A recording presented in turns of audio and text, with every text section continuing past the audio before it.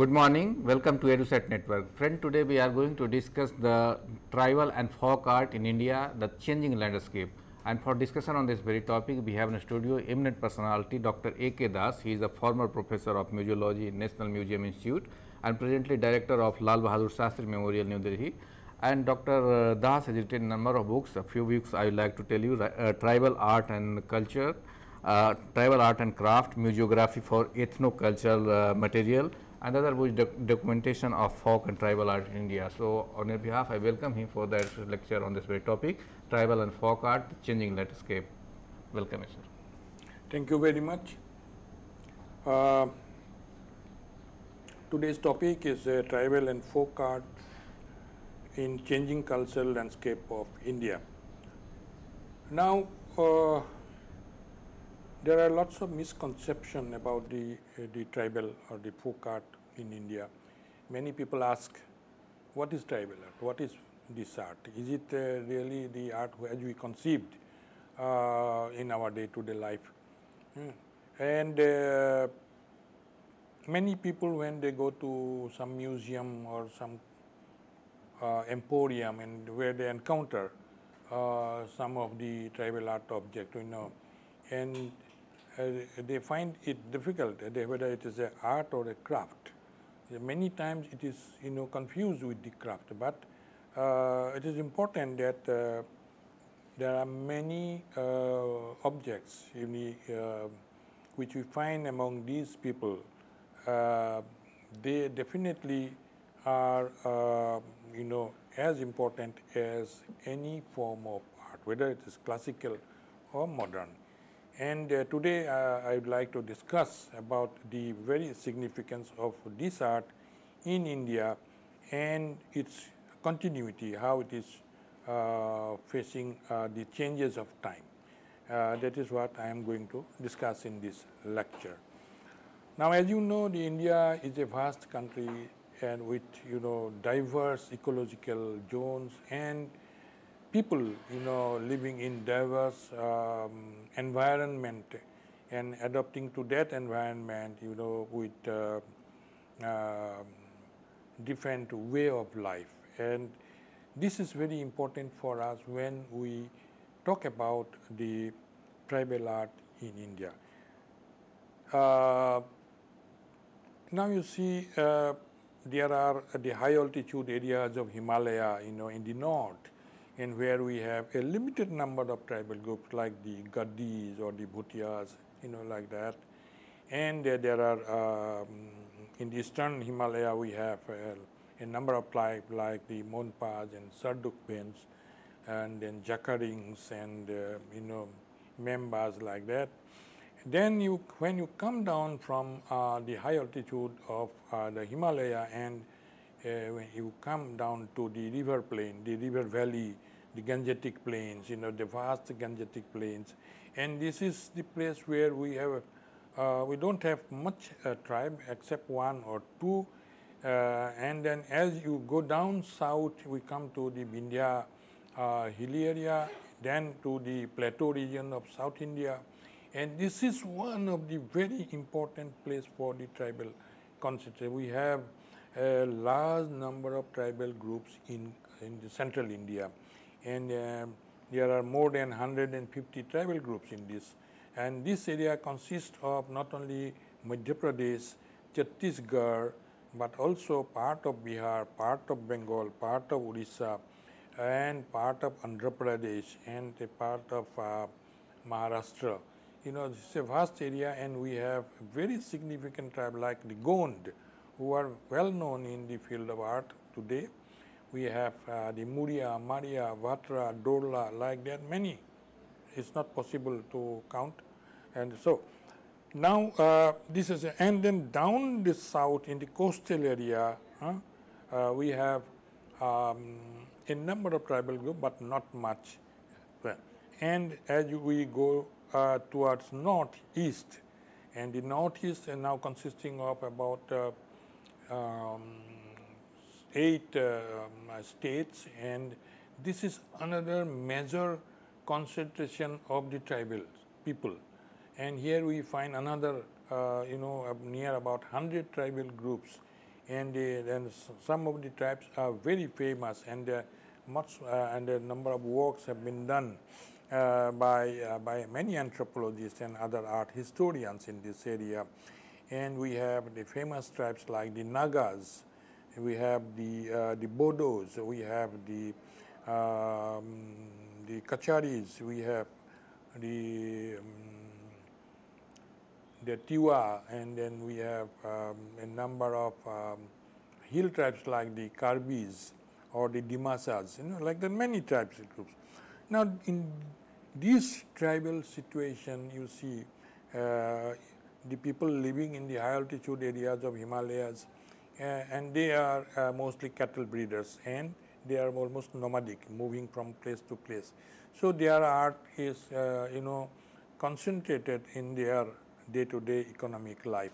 As we come down to the central India, where we have lots of tribal groups, and here we find the agriculturists, and they have, uh, you know, uh, shifting cultivation practice and also some of them practice wet rice cultivation and these people they have uh, some leisure time and during the leisure time uh, they engage themselves in preparing a number of crafts objects some of which are definitely the art objects.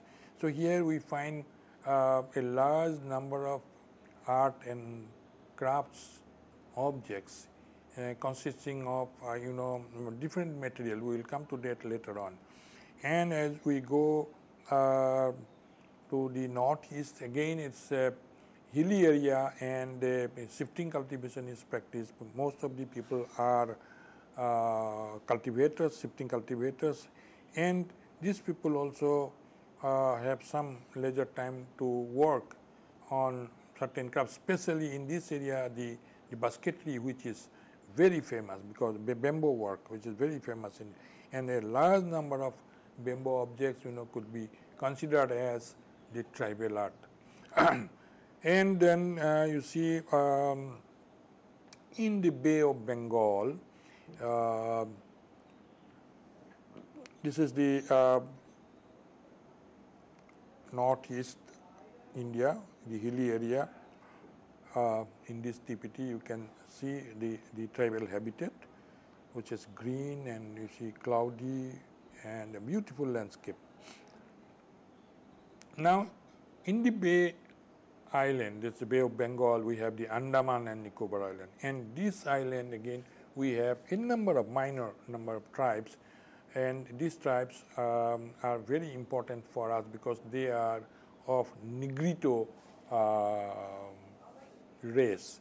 And here we have the tribes like Onges and uh, Jarwas, Sentinelese, and the Great Andamanis. Now, uh, these are actually hunter-gatherers. They uh, they don't have agriculture. They don't know anything about agriculture. They don't know anything about cattle breeding, and they are just hunter-gatherers, and they are nomadic. They move from place to place in search of games, in search of forest products on which they subsist. So uh, these people, they uh, are busy the, uh, the whole year and the whole day in search of their food. And so here we find a very limited number of um, craft practices here. Most of these people, you will find that they um, use uh, the bows and arrows, you know, for hunting, and at times they use a digging stick, a simple digging stick for digging roots and tubers in the jungle. Then these people also use a number of, you know, sea uh, animals, uh, you know, like uh, the seashells, you know, which is used by them for their household article. So here we what we find uh, the art practice is very limited. I will come to that later on. Now, uh, as I told you that the, the, the tribal people, uh, they live in different ecological niches and because of them they have different type of uh, creativity and, and different type of art uh, material, you know. And I can uh, give you a list of uh, the, the, the, the, cultural material that could be uh, considered as the form of tribal art. Now, among the tribes, what we find the materials used by them is very interesting. They use kind of material like um, uh, like clay uh, or art. They use minerals, bamboo and cane, bamboo, cane and reed. They use wood. They use bone, ivory, plume, and some other uh, material, you know, of uh, uh, animals like birds. and that then they have, they are using leather, skin, and fur. And some of the tribes, very limited in number, use metal. So they have some kind of metal products. And finally, uh, it is the human body, which is uh, one of the unusual canvas for expression of tribal art. And these are um, the, the, the, the, the limitation of the material here, but these materials are locally available and uh, the tribal people, they uh, get this material from their local environment and they use them for a different type of uh, art activity. Now art forms, you know the what are the art forms among the tribal groups that is uh, very important for us. Uh, now it is very unusual because the art forms, uh, when you talk about the art forms among the tribal, it is um, not like uh, the, the, the, art for art's sake as we see uh, in the modern art or our classical art where you have stone sculptures or you have the miniature paintings where you have bronze statues, you know, like that. And in case of uh, the tribal people, the art objects are day-to-day -day material. They are functional. They are, they are not for art for art's sake. They are just functional. They are the objects of everyday use. There can be a basket woven of uh, bamboo or cane strip. There can be a textile fabric woven of cotton or other uh, vegetative fabric uh, in the very simple loin loom and there can be a number of clay products like some kind of pottery, some kind of terracotta objects, you know, out of the clay which is locally available. Then you have a number of wooden artifacts, you know, like wood carvings or engravings, you know, uh, from uh, the locally available wood, uh, which they collect from the jungle and use it and then there are uh, objects like um, jewelries, the ornaments, you know, these, these are very interesting uh, area. The, the tribal ornaments which vary from place to place. We have different type of uh, bead jewelries which we find among the tribal people of northeast India and we have uh, different type of metal jewelries in central India. And we have a very interesting type of jewelry which we find in Orissa. The, it, is, it is the clay or it is the terracotta. By using terracotta, you know, beads with paints and all, they make jewelry like necklaces, you know. So, and again, if going back to the Northeast India, there are unusual material used for the ornamentation, like the seeds of certain trees. Like if you see among the Konyak Naga, they wear a kind of uh, earplug, you know, uh, which is uh, made out of a seed called the um, mm, It's a kaurimani red colored seed, you know, and this seed is collected from the jungle and then they use it by a kind of gum, you know, the, the gum they make a kind of uh, ear plug and which is used by male. It's a male ornament. So the seed, it is, uh, one of the uh, very interesting item which we find uh, in the uh, tribal art. And then the metallurgy, metallurgy, especially the, you know, the Dokra art, which we find in central India, in eastern India. And in the Dokra is a lost wax process, which is a very uh, uh, a simple type of metallurgy. And this lost wax process uh, is called Dokra.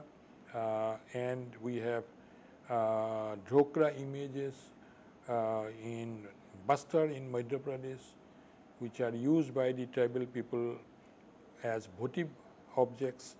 We have the Dokra image in Orissa used by tribes like the uh, Khonds, you know, where they make uh, certain objects. Some of them are votive, but some of them are very secular, profane.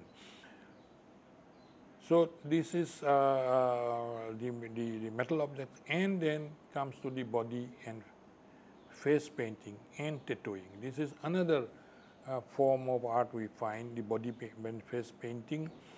Uh, uh, body and face painting we find um, among the Onges and the Sentinelese and the, the Andaman tribes actually. And here uh, they use two different type of uh, ochre uh, locally available as a kind of red ochre and a white ochre. And while painting their face and the body, they make some kind of uh, patterns. Uh, now, the tattooing the tattooing is uh, one of the important uh, art forms that is found all over India, from central India to northeast to south India, and even it is in the uh, high altitude mountain area of uh, Himalayas. So the tattooing uh, and is a kind of practice which has socio and religious significance among the uh, Wanchos or the Konyak Nagas, the tattooing done on an omen, you see,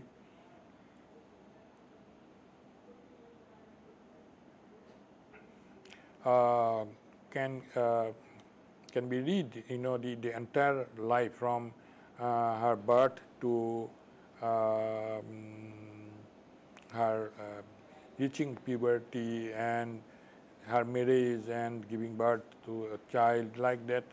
All these are symbolized in the tattoo marks which is done on the uh, body of the woman and it starts from the neck to the chest to the thighs and then the uh, the leg you know the calf muscle where they do this tattooing.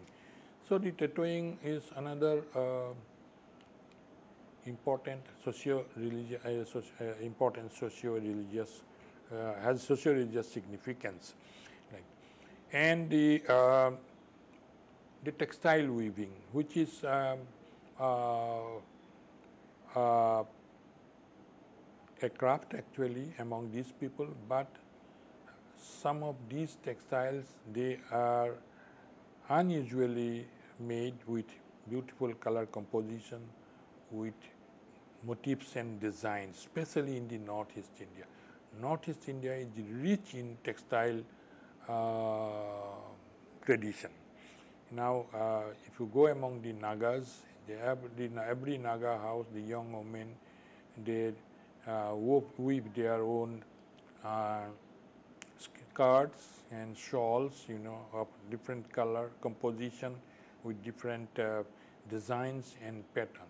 Now here uh, the color composition and designs and patterns are not just for aesthetic but it has a social significance like one can identify a Naga you know man or woman looking at this skirt or this shawl.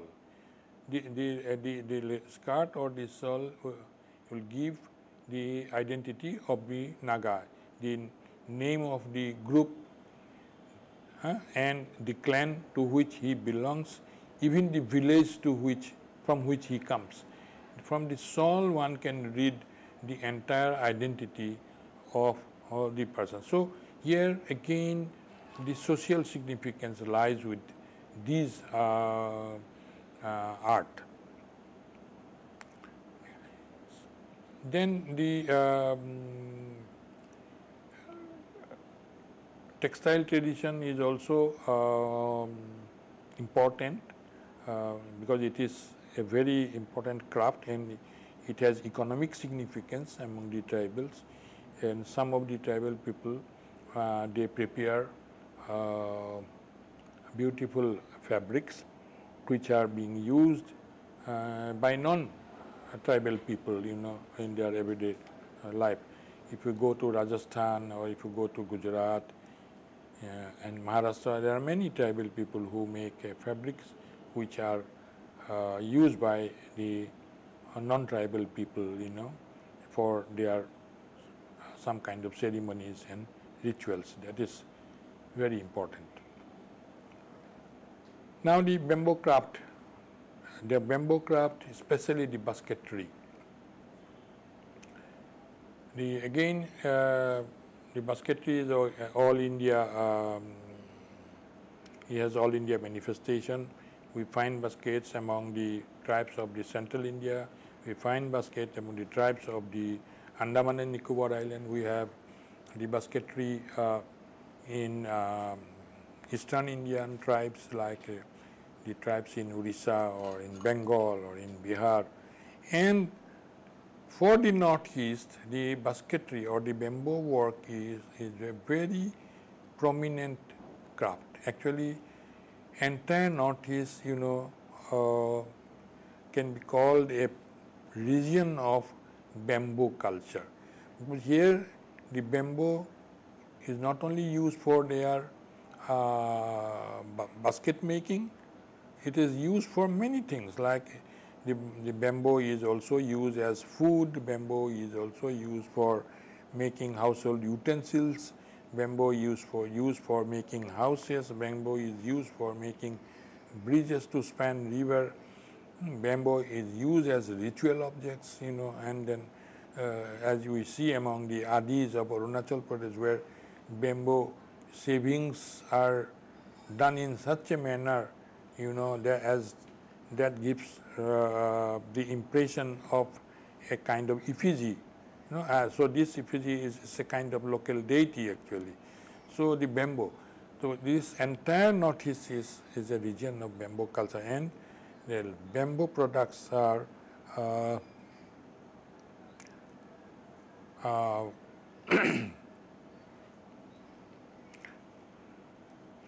bamboo products are, are you know completely uh, an object of art you know and it and if you see the actually the the this the uh, number of baskets in museums especially in the northeast indian museums the beauty of these baskets in the shapes and the textures and the structural ornamentation it make it an object of art. Actually it's a, definitely a beautiful thing.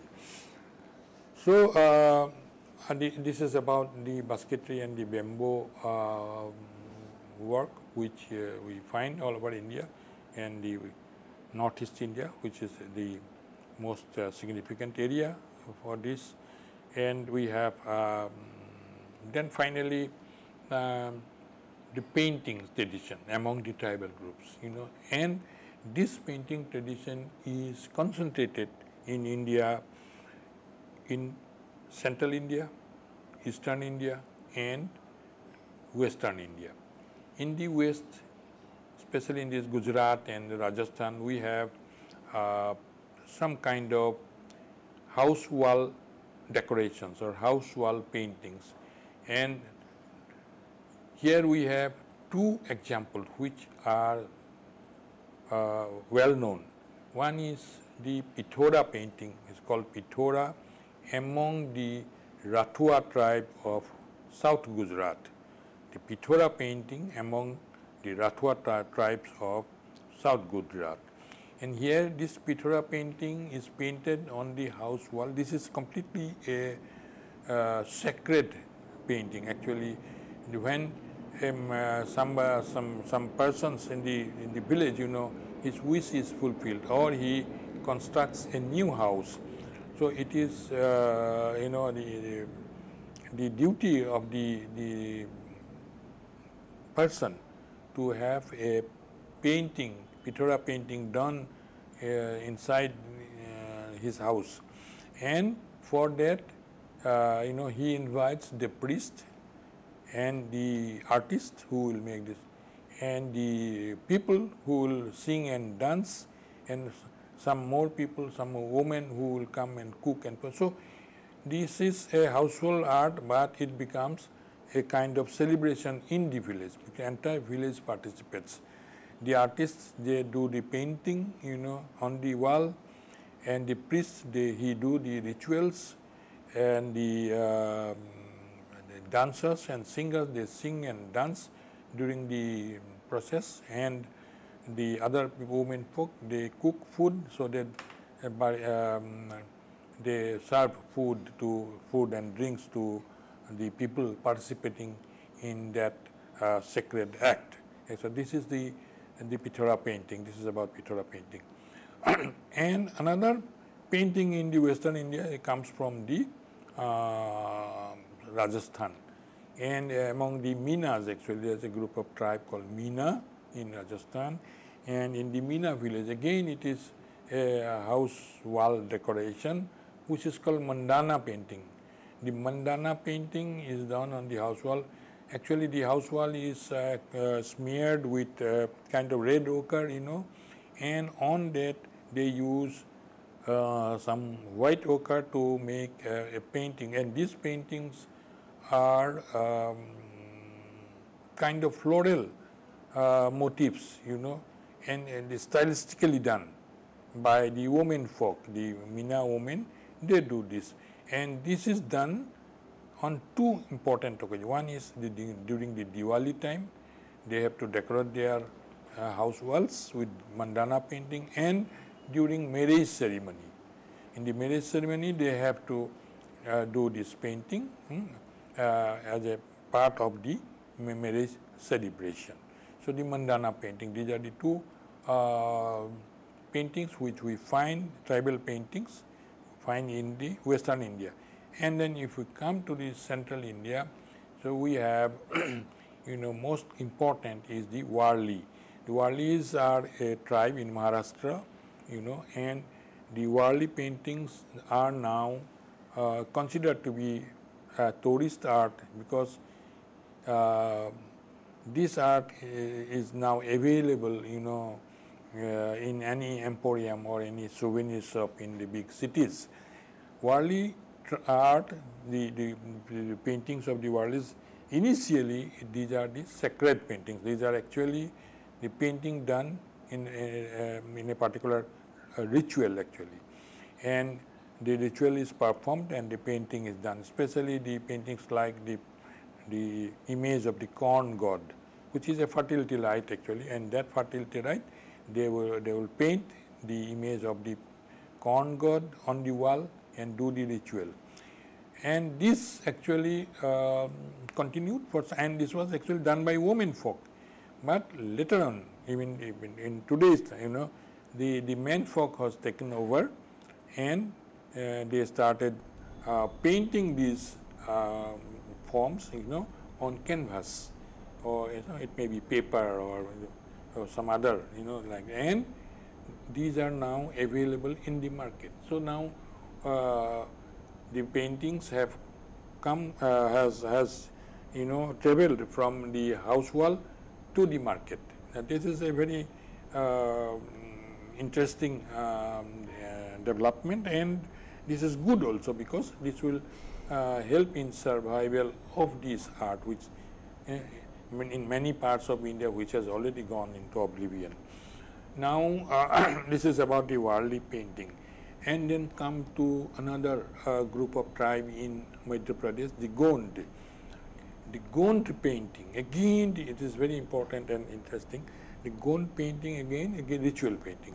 It is done on the house wall, it was done by women folk, again it's a women folk they done and during certain rituals and then some of this painting you know um, is attributed to a number of uh, local deities, you know, like that. But this painting again, you know, uh, taken over by the manfolk and they have now commercialized this art. So now Gond painting has now internationally known and we have the uh, artists like Sadashiv, Masse and all who are internationally known. And here what they have done, they have kept the tribal uh, stamp, you know, in form of the motif or the theme of the art and they are using commercial uh, colors, you know, and they have introduced certain uh, expressive elements into it and make it uh, a very exotic exotic type of uh, you know um, art you know and the expression is um, you know just like any other modern art you know. So the the Gond painting now um, is very it will not be uh, you know um, possible to call it tribal art but it is something like a modern art because these paintings are now sold for lakhs of rupees you know like they are just like but yet these are they have the Gond uh, stamp on it. So we may call it yes Gond commercial art or Gond tourist art. So these are the Gond tourist art we can call them. Then comes the uh, the paintings. You go down to um, Bengal and the Bihar, you know, where we have the Santals. And the Santals, you know, among the Santals we have the painting tradition, which is also uh, not very old, but they, they have the painting tradition called, the, these are called the Potachitras. But they have actually copied it from the Bengali cards, you know, but they have their own uh, style and they have their own theme, you know. And the Santal Potachitras are of two types. One is called Jadupat or Suksudan Pat, and the Potachitra. Potachitra is, you know, is made in uh, in th the theme is actually uh, the the creation of uh, life. Actually, that is based on the creation of life and the style is uh, you know again uh, the same as we find in the house walls of the Santal people actually. In the Santal house wall you have these paintings beautifully done and the same thing has now come to the canvas and in the canvas they make it more uh, complex uh, themes like the uh, origin of the Santals or the creation myth like that. I mean, and the Sakshudan Path. The Sakshudan Path is again a kind of uh, ritualistic, but here a person, he, if he, in his lifetime, he may, you know, um, donate his eye, you know, and and that is to commemorate that, so they make the Sakshudan pot These are the paintings, you know, of the person actually who has donated the eye, you know, or who has, who is thinking of donating the eye. So these are very interesting forms of painting and so the, the, the painting tradition among the tribes, I would like to call it the highest form of art among the tribes. And here uh, both the secular as well as sacred type of paintings are available. As we have seen the Pithora painting completely sacred or the Warli painting which was sacred. Now the Gond painting which are completely secular, commercial. We have this the the Potachitras or the your Sakshudan which are again uh, sacred, you know, like that. So uh, this is the the painting tradition. Now uh, this is uh, in nutshell the, the, the, the form of tribal art and its significance, you know. The question now, there are many other questions which uh, need to be discussed uh, in terms of the, the tribal art. Now, the tribal art or the tribal or folk art is not considered as one of the important area of uh, study when we talk about the history of art, the subject history of art. In the history of art, the, their, their main concern is the classical art, the ancient art. Their main concern is about the, the modern art. Our main concern about the history of art. Here there is no scope for tribal and folk art because the historians or the art historians they consider that the tribal and folk art these are not art but they are the craft. So here a very difficult question whether it is craft or whether it is art uh, you know how to um, differentiate. Because it, it is the craft. And because of the skill of the craftsman he beautifies an object. And that object because of its shape because of its texture because of its decorations because of its paintings you know many or it, it becomes beautiful so it is a crafts object and since there is beauty inherent in it it becomes an art object of course there may not be uh, any history uh, to these objects, but there is the significance of culture in it. If the culture is uh, to be studied, you know, it is very important that we have to take into consideration the the art objects or the crafts objects which has you know beauty inherent in it. So this is uh, one of the uh, important question which comes from time to whether it should be included in the history of art or not. Another question is uh, that's very important that is about intellectual property right. The intellectual property right uh, in respect of the tribal and folk art uh, is, uh, is a very uh, delicate issue because the tribal and folk art is a collective expression. It is not individualistic. It's a, like if we take, for example, uh, Warli painting uh, or the or the, the Pithora painting, where the you know the there are entire village participate when the painting is done. Now, in that case, if there is an intellectual property right, so that property right should be given to the tribe itself, entire tribe, not individual. But the, the, as per the law, it is the individual, you know, to whom you can give the intellectual property right. So, uh, because many of these art forms are now being, uh, you know, used by non-tribal, you know, for commercial purposes.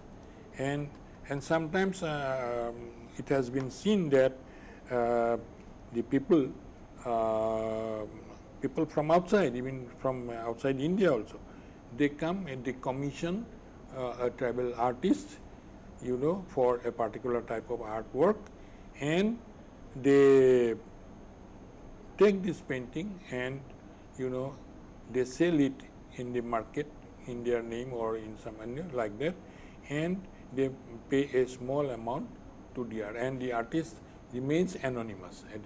Nobody knows that who has done that painting, but that painting is sold, uh, you know, in a large amount of money outside India or even in India also this is happening.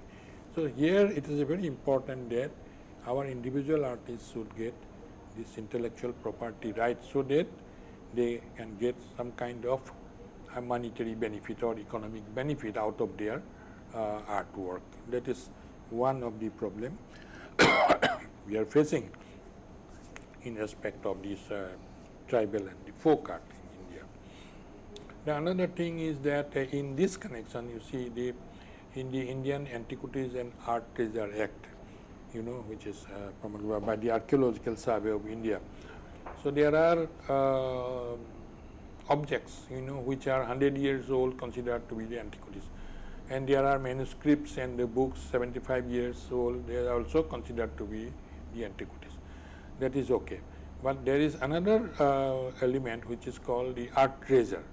Now, art treasure here is uh, is not clearly defined, but the art treasure uh, as, as far uh, the, the development which we see in recent time, like the the Government of India has declared uh, the paintings done by nine master artists, you know, who are dead actually, who are dead after their death, government has declared that these are the art treasures and as by gazette notification. So, those art treasures become antiquities actually. These, we cannot take these objects out of the country and sell it. So, the art treasure, we have lots of beautiful uh, tribal and folk art objects, you know, and these are yet to be declared as art treasure. So, this is very important that this art treasure provision in this act, it should also include the tribal and folk art, which deserves to be the art treasure of this country. So, um, so this is uh, uh, some of the problems um, which um, we are facing in the present time and uh, finally I would like to uh, come down to the you know an important issue that is the art in this changing situation, the tribal and folk art in this changing situation.